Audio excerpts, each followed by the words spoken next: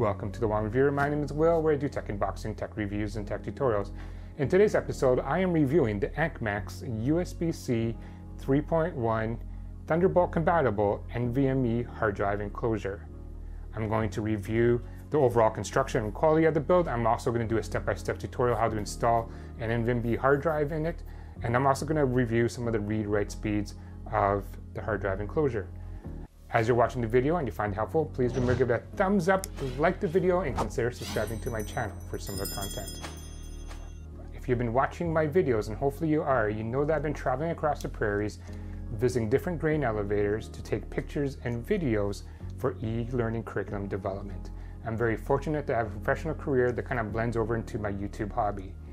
And one of the things I've learned to do is when I get back to hotel at night, is to back up all of my footage onto an NVMe hard drive enclosure. And this is a great enclosure because it's nice and small, it's lightweight, and it's robust because it has no mechanical moving parts. It's all using an NVMe hard drive. I decided to use a Samsung 500 gigabyte SSD 980 NVMe M.2 drive with a read speed of 3500 megabytes per second. So what I got from AnkMax is a NVMe SATA SSD enclosure, USB-C up to 10 gigabytes per second and NVMe SATA and it's plug and play. Alright, let's get this unboxed. The first thing we have is the Samsung SSD 980 NVMe.2 drive. As you can see, it's just a Samsung branded drive, nothing too special about it. Alright, the only accessory that comes in the box is the USB-C to USB-C cable, which should allow a transfer speed of 10 gigabytes per second. And then here's the actual physical unit of the AnkMax hard drive enclosure. It's pretty small and it's form-fitting, which is nice. It's hard plastic and it doesn't flex or bend too easily, which means I don't have any issues throwing it into a bag.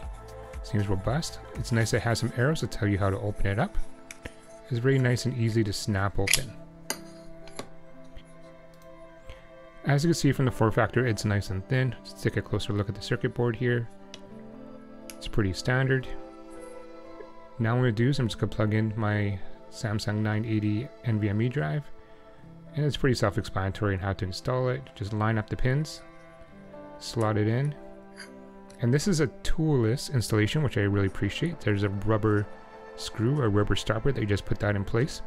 And I'm always leery about these rubber stoppers and not using a physical screw to put it in because I'm not sure how well it actually secures in place. Here you can see I'm kind of shaking it around, flipping upside down, and it still stayed in place and the rubber stopper didn't come out. So it gives you some more confidence that it will stay in place. Alright, so now that the NVMe drive is secured in place, I'm going to put the cover back on. And actually you can see me struggling here trying to put it back on. You do have to line it correctly uh, at the bottom of the arrow there um, on the side. Just line it up and then just slide it and it clicks into place.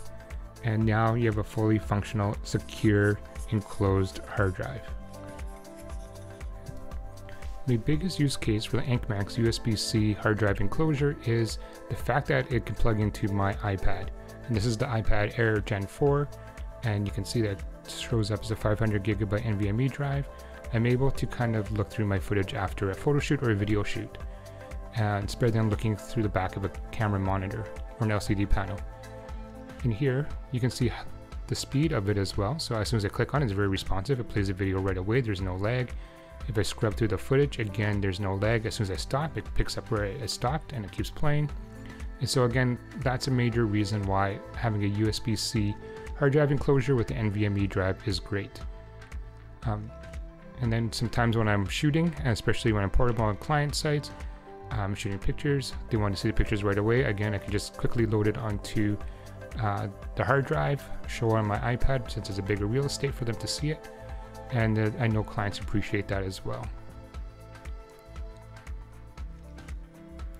So another thing I use NVMe hard drive for is uh, editing on the go. So you can use iMovie or LumaFusion so once the footage is downloaded onto the AnkMax USB hard drive enclosure, I can load videos, uh, such as a video of me updating my computer, quickly loads into my iPad, into iMovie, and now I could do some video editing right off the hard drive enclosure, which is excellent. It's a great portable way of being productive. So before you can actually start using the drive, you do have to initialize and format it. So uh, under Windows, you go to Disk Management. Once you go to Disk Management, you locate the disk. So for me, it's disk 9. I'm just going to initialize the disk. And even though it's 500 gigabytes, I only have 465 usable space. And then I'm just going to put GPT and then format it. Now it's initialized, just select right click, select new simple volume, take you to a new simple wizard. I'm gonna click next. And then I'm just gonna use the max space, which is 476 gigs. I'm gonna click next. Uh, sign a letter, it says O in this case, so I'll just click next.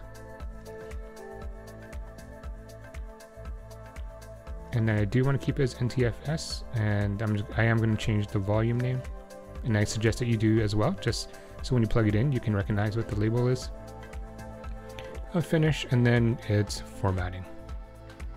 So once it's done it'll tell you it's been formatted it's a healthy basic data partition. I plugged the USB-C port into my computer and uh, just to do some benchmarking and it gave me a read speed of which is over a thousand megabytes per second and a write speed of 945 which is well below what's advertised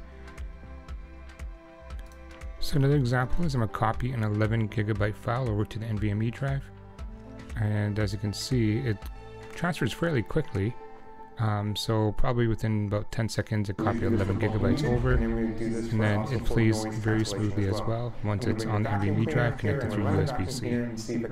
Alright, so that concludes my video of the AnkMax NVMe hard drive enclosure with the Samsung 980 NVMe hard drive.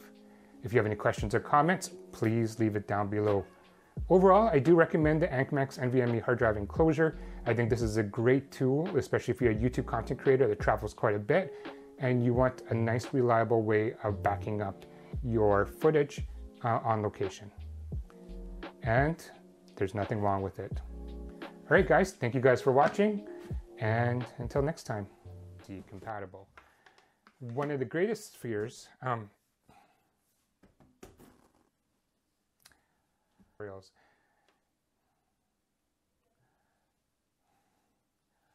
Welcome to the Wong.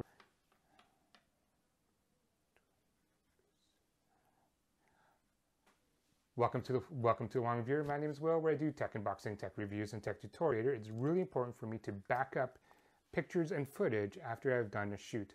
And the main reason being is I've had some occasions where the memory card, after I've taken it and I have